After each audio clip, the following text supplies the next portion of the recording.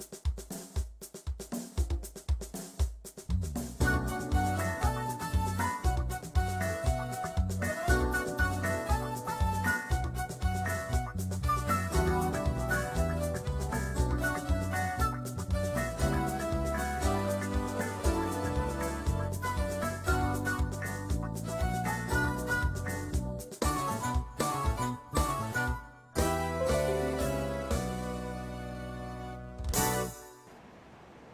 Van harte goedemiddag en welkom bij Actua, het actualiteitenprogramma vanuit de congreshal in samenwerking tussen de STVS en het NII. In dit programma brengen wij u actualiteiten. We brengen gasten die we spreken om u te informeren, onder andere. Uh, en vandaag uh, ken ik geen betere kick-off van dit programma dan de eerste gast die wij vandaag hebben. Hij is een zeer bekende artiest in Suriname, maar hij is ook brandweerman. En als ik dat gezegd heb, dan is mijn intro meer als voldoende, want we hebben het over niemand minder dan Enver Panka, oftewel Enne Boy. Yes. Enne, Middag. hoe gaat het met jou? Rustig, rustig. Maak Jouw smile spreekt altijd boekdelen bij mij. Ja, je moet, je moet toch. Je moet jezelf motiveren door te lachen. Als jij niet lacht, gaat er niet voor je gelachen worden. Dus daar lacht niemand. Oké, ik kom straks op dat stuk terug. Hou dat vast. Hou dat vast, want als niemand voor je lacht, Ja. Als jij niet voor jezelf lacht en niemand niet. lacht voor je, lacht niemand. 100.000. I love that statement. Ik denk dat je dat op een shirt zou moeten, moeten zetten. Er zijn veel dingen die ik heb gezegd die ik, moet, die ik zou moeten drukken. Maar ja, je weet nooit hoe het afloopt in de toekomst. dus Precies, precies. En Verpanka is dus bekend als brandweerman, maar meer nog als artiest misschien. Uh, maar ik wil deze actua dus beginnen met hem, met te belichten het deel van Enver Panka te zijn als brandweerman. Enver, brandweerman, hoe, hoe, had jij ooit gedacht trouwens dat je een brandweerman zou worden? Nee, eerlijk gezegd niet. Het is een kans die ik heb genomen op eh, aanraden van een buurvrouw. Ehm, ik dacht, shoot gewoon en als het lukt, lukt het. En het is gelukt. Ik weet nog, ik heb mijn haar moeten knippen, want ik had dreads toen. En ik kwam na een tour van twee weken in- in Curaçao. kwamen we aan om 5 uur in de ochtend en om 7 uur was ik bij de brandweer voor dat sollicitatiegesprek. Het eerste wat tegen me werd gezegd, we gaan je niet te woord staan met dat ding op je hoofd. Dus ik zei, ik heb niks op mijn hoofd. Toen zei hij, ik heb het over dat haar. Ik zei, ja, maar niks. Niemand garandeert me dat ik in aanmerking kom voor die baan als ik mijn haar knip. Toen zei die zekere heer, het is een kans die je gaat moeten nemen. Dus ik liep weg. Ik word Want om 7 uur is geen enkele kapperzak oefen. is geen enkele kapperzak oefen. Dus Inderdaad. ik ben mijn haar gaan knippen. En nu kan ik eh, met trots zeggen dat ik al 9 jaar in het vak zit. En, en je liep weg, je was boos, emoties, in kotti dreads. Adret, adret nog bij belangrijk. Adret nog nou belangrijk. op een kapperzak op dat moment. Dat, dat, dat weer meer. Dus belangrijk voor jou was de keus te maken om die job daadwerkelijk te Ja. krijgen. En een gesprek dat drie kwartier had moeten duren, heeft 10 minuten geduurd die ochtend. Ja. Ze zijn geschrokken toen ik terugkwam met dat haar in mijn hand. Dus het heeft 10 minuten geduurd. en Nou, ik denk dat dat dus met dat haar in je hand, die dreads in je hand, voldoende indruk heeft gemaakt Kan. op de mensen die het sollicitatiegesprek voeren. Want dat geeft aangegeven hoe erg je, of hoe, hoe- groot je drang was om inderdaad als brandweerman te willen fungeren. En nu heb je drie strepen, heb ik gemerkt. Ja. Wat, welke functie is daaraan verbonden? Ik ben brandwacht eerste klasse. Dus als je drie, streep, als je drie strepen hebt, ben je in de rang van brandwacht eerste klasse. Wat moet ik me daarbij voorstellen? Je hebt drie strepen. Ja. Je zit al een tijdje in het vak. Mhm. Je zou het beter moeten weten dan die twee pitters, die één pitters en die aspiranten. En als je het hebt over twee bitters, één bitters en aspiranten, dan neem ik aan dat je het hebt over de two-stripping man, one-stripping man Klopt. en dus de die mindere, in, die mindere in rang. Juist. En heb jij de leiding soms over zo'n groep van twee bitters, één bitters en, en aspiranten? Nou, het is wel vaak voorgekomen dat ik ehm, de leidinggevende functie heb mogen bekleden. Ook al was het niet voor de volledige dag, maar het is wel voorgekomen. En in dat geval kan je geen steken laten vallen. Want persoonlijk ben ik iemand, ik heb faalangst. Het doet me pijn als iemand tegen me zegt van "Hey, je hebt het niet gehaald of je hebt het verkeerd gedaan. Dus op basis daarvan doe ik zodanig mijn best alles zo goed mogelijk te doen. En, en nu ben je, ben je zo populair als artiest. Hoe gaan jouw ondergeschikten, in het geval jij leiding zou hebben, hoe gaan ze daarmee om wanneer een boy een opdracht zou geven? Kijk, dienst is dienst. Mhm, Als we over straat zijn, niet aan kwam box uit Buriano de. mhm. Oké, ik ben niet zo'n formele type die voor wie je moet komen salueren, go stijf in de houding Ja, ja. Ik, wenk, ik wenk je direct, hey, relax naar me, je weet toch?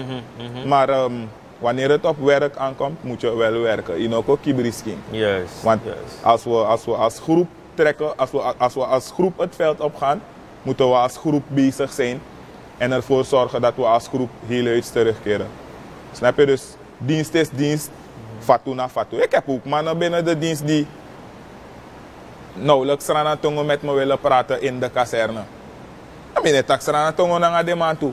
Maar toen dit pas strategie acties heeft, ik ja, dit toen mij is bij Roko is de man bij de zo. Je weet toch? Ja, ja, ja. Dienst maar is dat uit respect dat ze dat doen? Dat ze geen Saranantongo met je willen praten? Ik denk, ik denk dat dat het is, omdat ik het ook heb met bepaalde mannen boven mij. En ik maakt niet uit als het nou mannen boven me zijn of mannen die minder in rang zijn. Als ik, ik weet niet, ik heb het gewoon. Ik praat Nederlands tot je. Kijk, zomaar, even aan Tori, ik kan je tongen praten. Maar als we die zaken bespreken, is het puur. Tenzij je Nederlands hoort, go niet visie dan. Je toch? Ja, dan wordt het moeilijk om Ja, te communiceren in het Nederlands. Ja, inderdaad.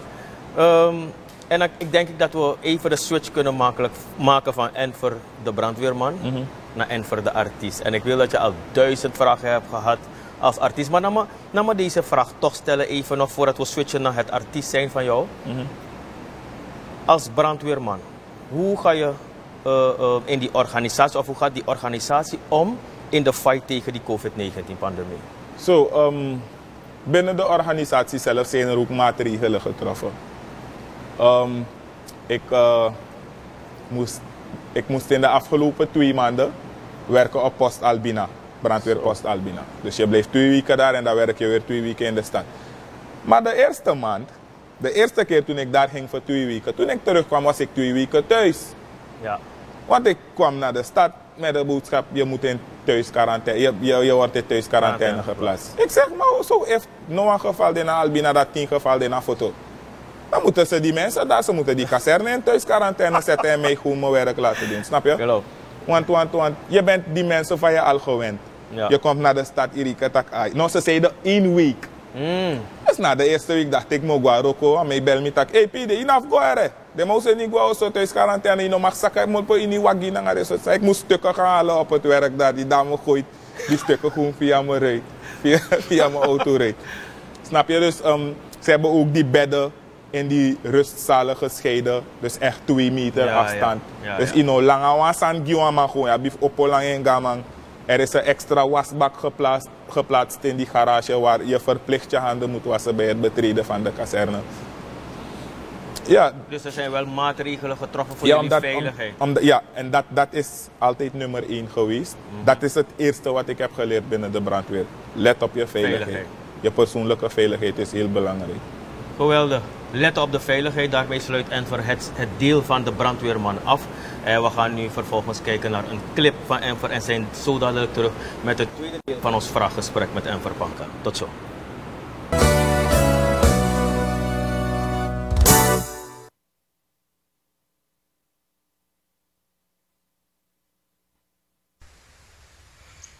Misschien is die boodschap of zijn die boodschappen van COVID-19 te serieus bij je overgekomen.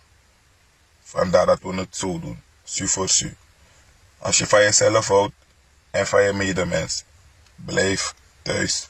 Blijf thuis. Blijf thuis. Net als ik. Ifan no defan hudu. Blijf thuis. Me bego no. Tana oso. Blijf thuis. Come, come here, come. You listening? Stay at your house. Stay at home. Fica, fica ao no piscio. Oh, busy. Jipe mi de toch? Bescherm jezelf en anderen. Srana man.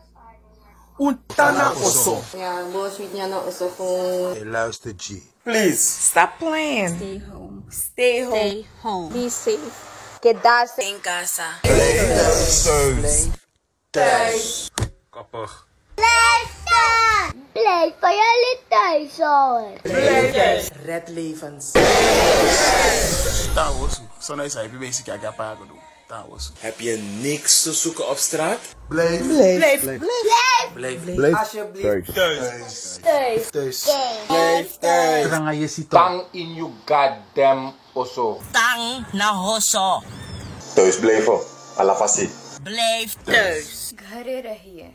Mi sarebbe fuga. Leftes. Topo e. Keep the social distance. Ano fueling in linea pata pata strati. Tan tan tan ere. Je weet zelf, blijf thuis. Hey, look up. Blijf thuis. Thuis. Die corona-बीमारी के कारण घर में स्नान करिए Tot weer moeten zeggen. Tang. Tang. Tang. Tang. Na. Na you oso. Oso. Oso. Ah, osso. Oso. Wat zeg jij? Tanga oso. Ga naar huis en blijf thuis. Goed, als je niks over straat hebt te doen. Ta oso.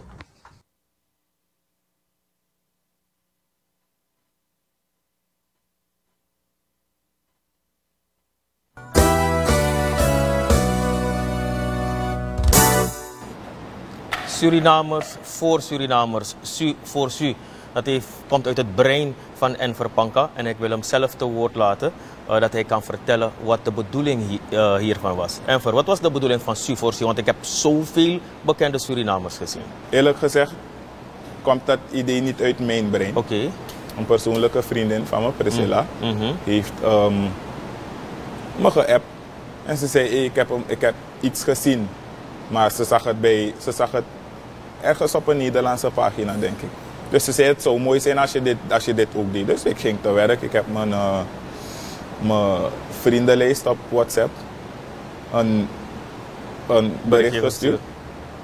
En ik kwam aan het eind van de dag te zitten met 278 inzendingen.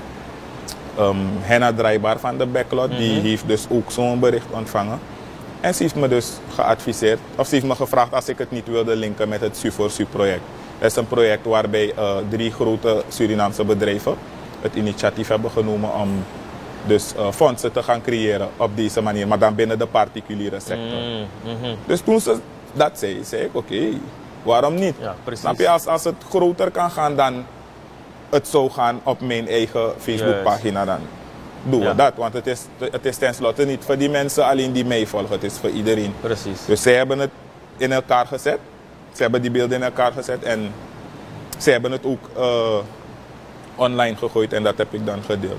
Geweldig. Ik vind, ik vind het een geweldig initiatief Ik, trouwens. ik, ik sowieso. Ja, en, en want de mensen die je hebt gebruikt zijn natuurlijk allemaal weer influencers op hun, op Ja. hun beurt, op hun manier, Ja. hebben hun eigen followers. Dus ik meen dat dit gewoon viraal is En het- gegaan en dat mensen inderdaad bewust worden dat ze thuis moeten blijven. Het gaat ook om, het gaat om mensen binnen en buiten Suriname. Geweldig, geweldig initiatief. En, en natuurlijk is alles wat de klok slaat COVID-19-pandemie. Jammer dat we dit weer moeten aanhalen, maar zolang de COVID-19-situatie niet over is, zullen we het erover moeten hebben. Hoe ga jij als... Nee, Travas nodig, inderdaad.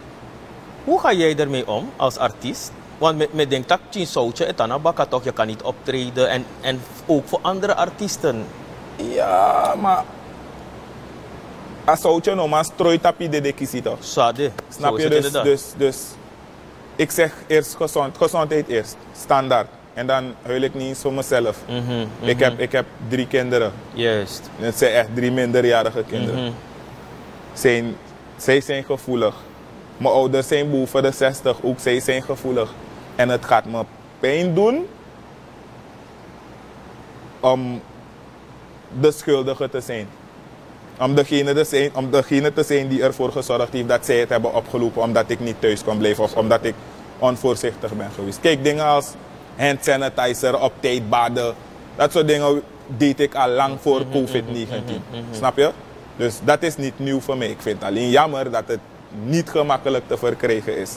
Daar huil ik niet eens voor mezelf, ik huil voor die mensen die het nodig hebben, want ik koop in voorraden, snap je? Mhm. Dus eh, dat, is, dat is mijn geluk geweest. En eh, ja, het is balen. En als ik zeg balen, dan bedoel ik dat je niet kan socializen met mensen. Daarnet kom ik naar binnen, ik wilde iemand een brassa geven, maar weet je toch? Rem. Anderhalf, nee, je dat? ja. En dat, dat is wat we gewend zijn. Hè. We zijn gewend te socialize. Yes, die- social is beings. die dus lobby, die, moeilijk. die ja. afstand, die afstandsliefde werkt niet. Klopt. Snap je? Als je iemand een brassa wil geven, wil je het niet op afstand doen. Nee, Hey, precies. Weet je toch? Precies. Verder, die lockdown is ook een afknapper voor mij. Want wat muziek betreft vooral, Mhm. kan ik overdag niet echt functioneren. Ik ben meer iemand die... Mijn muzikale kant is meer die kant die tot leven komt wanneer het, in de, wanneer het, wanneer het avond is. Oké. Snap je? Dus ehm, ja, ik moet het doen met. Ik moet, ja, maar je leert ook creatief zijn aan de andere kant. Ik ga niet jokken. Precies. Omdat op die eerste dag van die lockdown zelf, het was 12 maart nog? 12 maart toch? Die eerste 12 dag of 13, ja. zei ik, tegen een, zei ik tegen mijn producer, we gaan vandaag de studio in, want ik werd wakker met een lockdown pokoe, een lockdown idee in mijn hoofd. En ik heb het voor hem ingezongen via WhatsApp. Hij stuurt het voor me terug met een beat.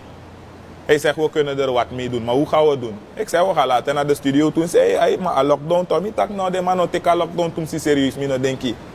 Dus hij kwam naar me toe, want we wonen op loopafstand van elkaar. Maar kwam hij, we zaten in de auto. Nu moet go achteruit.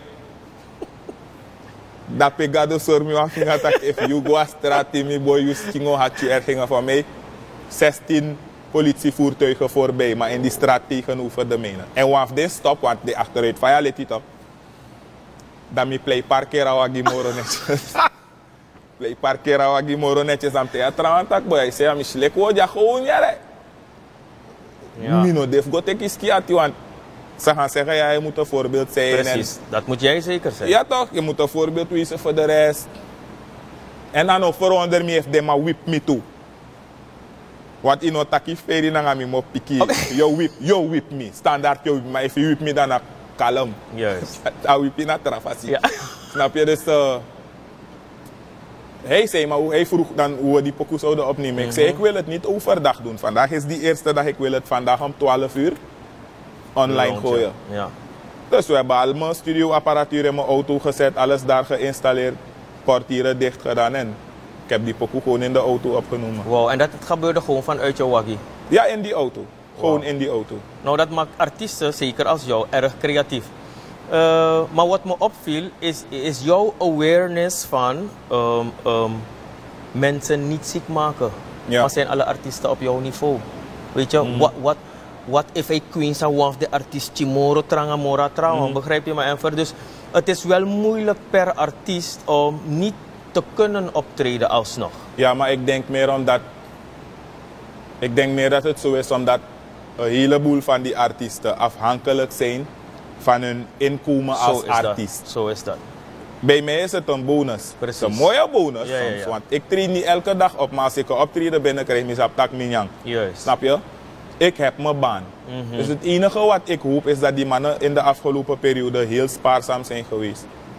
Snap je? Ja. Want, want, want het is geen doen zo. Nee, zeker. Maar heb je intussen dus tijdens deze lockdown, heb je andere artiesten gesproken hoe zij met deze situatie ik, heb, opgaan? ik heb geen artiesten gesproken, eerlijk. Maar ik heb wel hun bewegingen gezien. Mhm. En eh, dat wat ik heb gezien tot nu toe, ervaar ik als zeer positief. Ik zag een oproep van Psycho. Ik zag, je ziet die van Cyril dagelijks voorbij gaan. Want die is ook zo'n Ja. smarty, je weet toch? Ja. Eh, Little Loba, Colonel. En Colonel is niet eens in Suriname. Snap je? Dus ehm, die, mannen, die, mannen, die mannen zijn goed bezig, maar ik snap dat ze stressen. Ik stress ook. Want alle beetjes helpen. Zo is snap dat. je? Zo is dat. Dus eh, ik snap dat ze stressen, maar ze laten hun rol als influencer niet los. En daar ben ik zeer trots op. Oké. Ehm, en nu heb ik gemerkt, dus via social media, dat er online parties zijn. Eh, ik heb het vooral in Nederland gemerkt. Ehm, maar dan is het ander eh, aspect van die online party, het, het, het sociale gedeelte waarbij ze ophalen voor een goed doel. Om bijvoorbeeld de Nederlandse eilanden te ondersteunen Ja. die het zeer moeilijk hebben. Ja, ja, ja, Hoe gaan. Surinaamse artiesten met, met die online parties om? Is het er jullie opgekomen? Ja, ik heb, ik, heb, ik heb een paar bijgewoond online. Mhm. En ik heb één keer ook eentje persoonlijk bijgewoond. Dat was van eh, DJ Gilly Gonzalez en Nathan, o Nathan Omar. Dat is in het afgelopen weekend gebeurd. En, en hoe, hoe sluit je aan bij zo'n online party? Want moet er, moet, kan iedereen zich aanmelden bij zo'n party? Oké. Tuurlijk, je moet, je moet die DJ's volgen en je bent binnen. Is een klik. Met je, je, je, is een klik weg. Oké, met de drank posso thuis. gewoon. Ja toch? Ja toch? Party de wat je kan niet gaan bij de man. die. Lockdown, boeria. Oké, ja. En, en zoals je eerder zei, je bent een creatieveling die meestal, waarbij het, creatieve van jou meer s'avonds naar buiten komt. Mhm. Eh, maar heb je intussen bijgedragen? Heb je nog andere liedjes geschreven in die tussentijd? Dus eerlijk, ik, doe dat dagelijks. Alleen het opnemen ging een beetje moeilijk, want nadat ik in de, toen ik terug in de stad was, moest ik focussen op die jongens, op mijn jongetjes. En ik heb een kleine van negen maanden die is moeilijk. Die huilt wanneer hij honger heeft, hij huilt wanneer hij moet slapen, hij huilt wanneer je moet gaan baden. Omdat dat gemis een rol speelt toch. Dus dan, gisteravond was ik ook van plan weer in de auto op te nemen, maar er is niks van terecht gekomen, want ik viel in slaap. Snap je? maar het komt nog. Het Ja, komt nog. en- Nu, nu dat ik weet dat die mogelijkheid bestaat dat ik het zo kan doen, dan weet ik dat het sowieso goed kan. En jij bent eh, een hele belangrijke influencer, zeker voor de jeugd van Suriname. Hoe ga jij om met social media? Ik ben op je Instagram gegaan en ik heb gemerkt, je loopt. Ai. En ik denk dat je vooral de jeugd Mhm. daarmee moet stimuleren. Want motegi is mijn luku apptaal. Van je, van je ego erom, hoe je ermee omgaat. Maar ik kan het soms niet lezen. Ja. En ik vraag me af, hoe schrijf je dan goed? Mm. Als je, you know, want het wordt een gewenning. Als aan het niet idee, het gaat in je onderbewustzijn. Ze- Men vindt het stoer, in de meeste gevallen vindt men het stoer. Het lijkt leuk. Ja, maar ja. wat voor bijdrage levert het aan, jou, aan jouw kennis? Precies. Zie je, dat is belangrijk voor mij, je kennis. Hoeveel weet je? Hoe lang kan ik met je praten? Mhm. Waarover kan ik met je praten? Heel erg belangrijk. Snap je? Wat haal ik uit een gesprek tussen jij en ik? Want, want hoe, hoeveel gesprekken op, op niveau kan de jeugd van nu nog voeren met elkaar? Je hebt een paar slimmerikken. Ja, nee, dat- Sowieso, de goede niet- niet nagesproken, Juist. maar ehm, ik denk wel dat het iets is, dat het iets is waaraan er gewerkt moet worden. Ja, ik denk dat jij een bijzondere taak hebt als influencer. En voor om zeker de jeugd te stimuleren, om, één, om meer te lezen. Mm. Want omdat je leest iemand schrijft, onder andere. En gewoon ook om meer te schrijven. Maar schrijf goede woorden nog. Ja, tuurlijk. Weet je, schrijf volledige, Volledige zinnen. zinnen, ja. Precies. En dan is er nog eh, eh, een, een, een, wat je veel ziet zijn de TikTok-filmpjes. ja. Heeft en vooral een TikTok-filmpje gemaakt. Ik heb een aantal, man. Serieus zo? Ik heb een aantal, vooral van die Don't Rush Challenge. Die Ja. van die dames van de brandweer heb ik in elkaar gezet. In een rijdende auto. Eh, want ze wilden het direct hebben. Je weet hoe vrouwen zijn toch? Het moet direct. Dus eh, ik heb het in de auto van op, eh, op de weg van Albina naar de stad. Dus die dag toen ik naar de stad terugkwam heb ik het in elkaar gezet.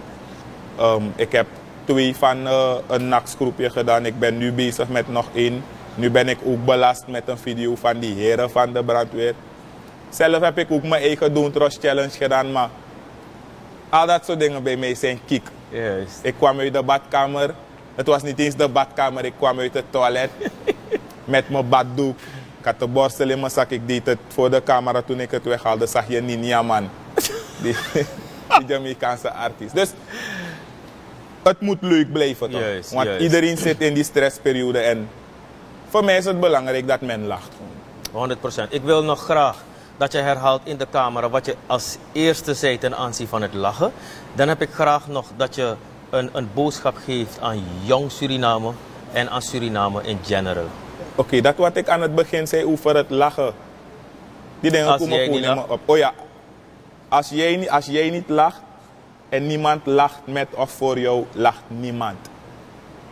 En dat moeten we niet hebben. Tuurlijk niet. We moeten lachende mensen, vrolijke mensen hebben. Heb je nog een boodschap voor de Surinaamse jeugd? Niet alleen voor de Surinaamse Maar ook jeugd, voor Suriname in ook- general. Ook volwassen mensen maken, ze- maken zich schuldig eraan. Ja. Onderschat die COVID-19 niet.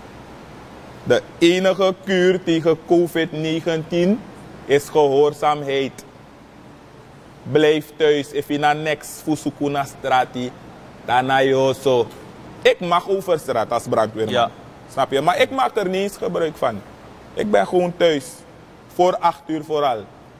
Voor acht uur ben ik thuis. Als je niks te zoeken hebt op straat, blijf thuis. Ik ga winkel, ik snel, kom bakken. En alles wat je in de winkel koopt, moet je reinigen. Maakt niet uit wat het is, reinig het. Want ik heb het gevoel, en ik denk wel dat mijn gevoel me niet voor de gek houdt, is dat er dingen zijn over dit virus dat ons niet verteld worden. Snap je? Dus neem geen kansen. We weten niet wat het is, we weten niet waar het vandaan komt, we weten niet wanneer het gaat. Zorg ervoor dat je er niet mee besmet raakt. Doe het voor jezelf, doe het voor die kleine, doe het voor die iets ouderen. Want ik ben persoonlijk ook een uh, grootoom kwijtgeraakt. Laatste broer van mijn grootvader. Mm. Hij is overleden in een zorginstelling in Nederland, in Rotterdam. Kort terug, die is in de afgelopen En dat week. komt door COVID-19. Ja, hij is een slachtoffer geweest. En bijna al die oudjes Ja. in dat thuis zijn slachtoffer geworden. Dus voorkom het voor jezelf, voor je kinderen en voor je ouders, je grootouders. Voorkom het voor iedereen. Blijf thuis, wees gehoorzaam. En die mensen die denken dat het een kiek is, ja, scootolo, no bakat idee. Kappen, kappen. Het is nergens voor nodig. Het is een kiek totdat, je, eraan, totdat je ermee besmet wordt. Totdat je ermee besmet raakt en je ziek wordt. Precies. Dat is die hele kiek eruit, toch? Dat is het iedereen schuld behalve de jouwe. Dus dit is smart. Tauso. Ja, Kijk, dat was de duidelijke boodschap van Enver Panka, a.k.a. Enneboy. Iedereen kent hem als Enver, de artiest, de Surinaamse brandweerman. Iemand waarop we trots mogen zijn. Ik wil dus afsluiten met Enver zijn, zijn boodschap. Stana osso. Stay at home. Blijf thuis. Als je niets over straat te zoeken hebt, zoals hij het eerder aangaf, blijf thuis. Moet je toch iets dringend doen, doe het snel. Kom je thuis met de producten, you know, sanitize them, maak ze schoon, zet ze even apart. Gebruik ze desnoods de dag erna. Maar het belangrijkste is dat je thuis blijft, jezelf in veiligheid stelt, waardoor anderen, eh, waardoor anderen veilig zijn. Sorry. We gaan, we gaan naar een korte break, omdat we na de break terugkomen met onze tweede gast. Tot zo.